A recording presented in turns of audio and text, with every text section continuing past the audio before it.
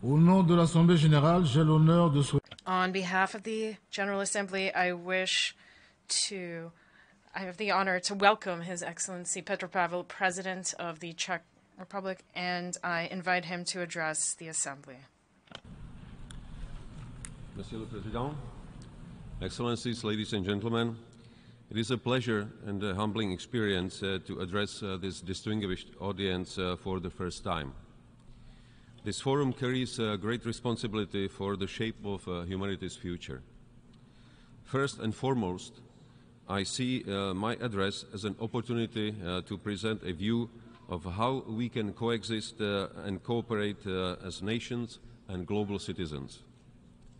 Czechia aims to play a proactive role and responsible role uh, within uh, the global community. No one can cope uh, with the current global challenges alone. That is why we strongly support the reform uh, proposed by the UN Secretary General in our common agenda. We want uh, to work together on a more effective and inclusive uh, multilateral system that is able to address the needs that we face. This is why Czechia announced uh, its candidacy for non-permanent membership of the Security Council for the term 2032-33. Last year, a permanent uh, member of the UN Security Council, one of the founding nations uh, of this organization, blatantly violated uh, the fundamental principles the UN stands upon. The Russian full-scale invasion of Ukraine continues to constitute a manifest violation of the UN Charter and international law we all subscribe to. My country has its own experience uh, with wars and interventions, including decades-long military occupation imposed by Moscow. It taught us what it means when might makes right. Russia's aggression against Ukraine has come at an even higher cost. I personally visited Ukraine in April this year. My wife had uh, this opportunity to visit a war-torn country only two weeks ago. I saw the infamous uh, crime scenes of Bucha and Borodyanka. I found myself uh, in Dnipro region, only a few miles away from the front line, in the area ravaged by war fighting. The account of Russia's atrocities, human rights violations, and ferocious attacks against the innocent civilian population is overwhelming. Children forcibly separated from their families, deported uh, for re education in order to make them uh, uh, forget their culture and who they are. Entire towns and villages wiped out for no reason. Mass graves and torture chambers in which people just disappear. Sadly, the evidence uh, tells the story better than any statement. The list of stories uh, full of horror is endless. Yet we cannot just uh, passively observe it. This must end. Russia must unconditionally withdraw all troops from the entire territory of Ukraine within the, its internationally recognized borders. Russia's leaders must be held accountable for the crime of aggression against its neighbor. This is why we have extended our support to the establishment of a special tribunal to prosecute the crime of aggression against Ukraine. It is our duty to ensure that those responsible for war crimes and crimes against humanity are held accountable. Apart from violence, injustice, and suffering of civilians, every war also brings destruction. Reconstruction of Ukraine may be the largest rebuilding effort in modern history. We support establishing the register of damage caused by Russian military and we call on all states to join these efforts. Czechia will support Ukraine uh, in its uh, defense as long as necessary. From day one, we have uh, stood by Ukraine's side and provided uh, the defenders with weapons and ammunition. With the outburst uh, of the Russian aggression against Ukraine, Czechia has also stepped up uh, its support for Russian and Belarusian pro-democratic voices, and Prague has become an important hub for journalists and human rights defenders in need. For over 18 months, Czechia has been providing humanitarian assistance to the war-affected Ukrainian population. Per capita, my country has received more Ukrainian refugees than anybody else, mostly women and children. What Ukrainian people truly deserve is peace. Not just any end of hostilities, but uh, just and durable peace. If it is to be sustainable, it cannot be based on an unjust compromise or conditions imposed by the conqueror. Neither shall it leave hopes for Russia to fulfill its imperial ambitions. It must be peace on terms of the defender and not the aggressor, as uh, early today stated uh, President of Ukraine Zelensky.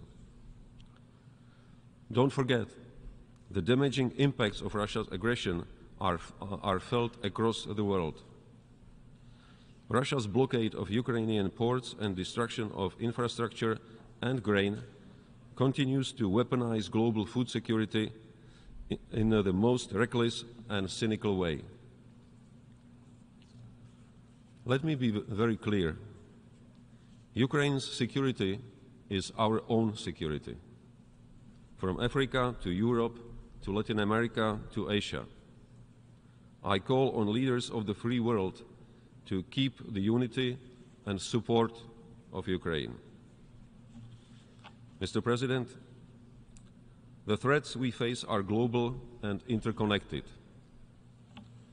Because of Russia and a handful of other countries, our world is more dangerous and rougher. Instead of cultivating cooperative security, we have to uh, build up our militaries. Instead of boosting social cohesion programs and overcoming economic insecurity, we have to boost our defense budgets. Those who contest the international rules steer the wheel of global security backwards into confrontation, and sooner or later at the expense of all of us. Russia's uh, reckless threats to use nuclear weapons, its policy of coercion and intimidation represent a threat to balance and integrity of the whole system of non-proliferation. The announced uh, stationing of nuclear weapons in Belarus uh, is a further irresponsible escalation Czechia condemns in the strongest terms. Unfortunately, Russia's fingerprints can be found in several other current crises. Mr. President, the security, humanitarian and political uh, crises unfolding in Sahel region are uh, more than worrisome. The international community must try to find a way to end the series of military coups and ensure a return to constitutional order. This is the only way countries can effectively protect themselves against terrorism. It is the only way the much needed economic and social development called for by African people can take place. The region remains vulnerable to numerous political, economic, and climate risks. Its long-term stability, security, and prosperity is crucial. We must offer genuine, pragmatic partnerships. Some countries pretend to be willing to help. In reality, they create economic and political dependencies. These undermine the long-term stability and manipulate the free will of people by spreading lies and disinformation. In Asia and Pacific, Czechia is uh, an active and reliable ally and partner. The word cooperation must remain key for our joint efforts in the region. We deplore China's military actions uh, which raise tensions uh, in the Taiwan Strait and its unfriendly actions against partners in the South China Sea. Any dispute or contagious issue must be solved peacefully.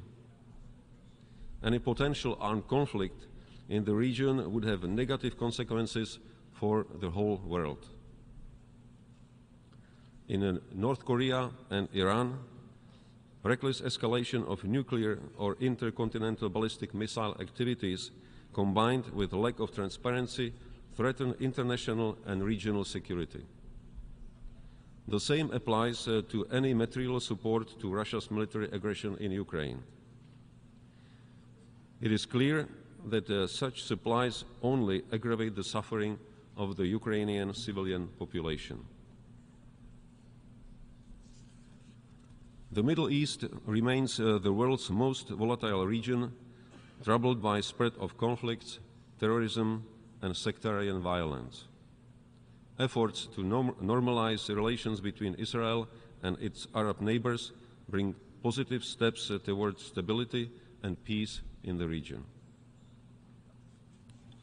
Mr. President, our efforts to uh, maintain peace and security are closely linked with our ability to promote human well-being and sustainable development of our societies. One may ask how a country of 10 plus million uh, people can contribute uh, to uh, global ambitions. Having our own national experience with oppression, fundamental rights and freedoms are deeply embedded in our value system and foreign policy. Czechia strives to pursue an active human rights and democracy policy. We are a staunch supporter of international human rights mechanisms. Currently, we are proud to serve as the presidency of the UN Human Rights Council. More than ever, we have to support media freedom to enable uh, access to uh, independent and factual information. Without it, disinformation and propaganda will prevail. Mr. President, the Sustainable Development Goals Summit yesterday uh, sent a strong message of urgency and determination. The 2030 Agenda is a promise uh, to current and future generations which we have to keep. There is an urgent need to highlight the link between peace, security, climate, environment, and development on one hand, and human rights, justice, and strong institutions on the other. In the latest uh, SDGs index, Czechia is ranked as the eighth most advanced country in the implementation of uh, the Agenda 2030 and its uh, SDGs. Yet we also face many challenges and we need to step up our efforts. Climate change remains the single most destructive threat to the current and future existence and well-being of all humankind. It threatens our lives, livelihoods, food security, prosperity, and ultimately peace and security worldwide. Czechs devote a lot of attention to this issue. It is no coincidence that uh, it was under the Czech presidency of the Council of the European Union last year that uh, we finalized crucial legislation which uh, shows the path towards the uh, green transition of our industry. 30 years after the end of the Cold War, we are witnessing efforts of authoritarian regimes to redefine core principles of multilateral order. Malign actors use cyberspace, disinformation, economic, political, and other tools to disrupt democratic processes, to undermine our institutions, and to weaken our security. The challenges we face today are significant, and it is apparent that only collective action can ensure a safe and prosperous future for all. In this respect, Czechia recognizes its global responsibility and remains committed uh, to ensuring that no one is left behind. I personally commit to work with the international community to fulfill uh, urgent work that must be done. All the best to you and thank you for your attention. Au nom de l'Assemblée générale, On behalf of the General Assembly, I wish to thank the President of Czechia for the statement just delivered, and I request protocol to escort His Excellency. The Assembly will now hear an address by His Excellency Sir.